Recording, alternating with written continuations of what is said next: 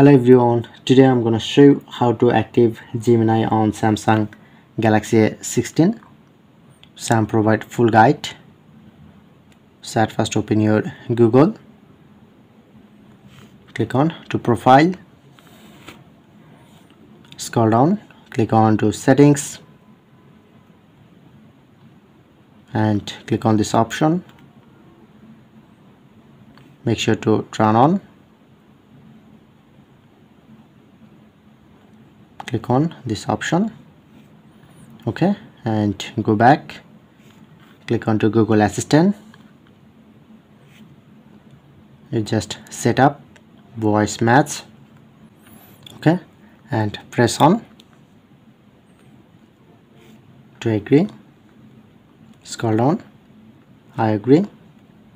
And say hey Google help me write a thank you note now say hey Google what's the weather tomorrow? Now say okay Google explain how a rainbow is formed and the last now say okay Google set a time for 5 minutes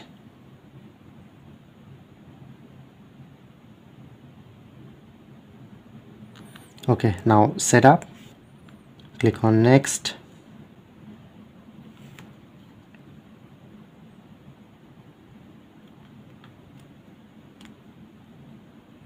Okay overall setup.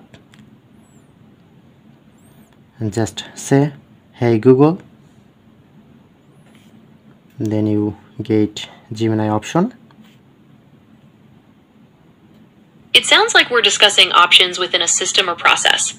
If then you get Gmail option comes up, it likely means that Gmail so that's it